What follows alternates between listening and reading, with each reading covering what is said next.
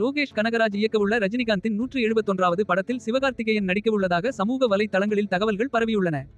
மாநகரம் கைதி மாஸ்டர் விக்ரம் மற்றும் லியோ என ஐந்து படங்களை இயக்கியுள்ள லோகேஷ் கனகராஜ் தமிழ் சினிமாவின் முக்கிய இயக்குநராக மாறியுள்ளார்.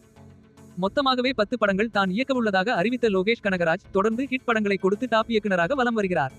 கடைசியாக விஜய் நடிப்பில் உருவான லியோ திரைப்படம் பிரம்மாண்ட வெற்றி பெற்றது. தொடர்ந்து ரஜினியின் நூற்று எழுபத்தொன்றாவது படத்தை இயக்கவுள்ளார் லோகேஷ் கனகராஜ். இதற்கான கதையை உருவாக்கும் பணி தற்போது நடைபெற்று வருகிறது. அடுத்த ஆண்டு ஏப்ரல் அல்லது மே மாதம் ஷூட்டிங் தொடங்கலாம் என்று எதிர்பார்க்கப்படுகிறது. நடிகர் ரஜினிகாந்தும் கடைசியாக ஜெயிலர் படத்தில் மாசாக நடித்திருந்தார். தற்போது இருவர் கூட்டணியில் உருவாகவுள்ள இந்த படத்தை எதிர்பார்த்து ரசிகர்கள் காத்துக் கொண்டிருக்கின்றனர். ரஜினியை வைத்து லோகேஷ் இயக்கும் படத்தில் பல முக்கிய நட்சத்திரங்கள் இடம்பெறுவார்கள் என்று ஏற்கனவே தகவல்கள் வெளிவந்தன. இந்த சூழலில் சிவகார்த்திகேயன் ஒரு முக்கிய கேரக்டரில் நடிப்பார் என்று கூறப்படுகிறது. இதனை அறிந்த ரசிகர்கள் மகிழ்ச்சியடைந்துள்ளனர்.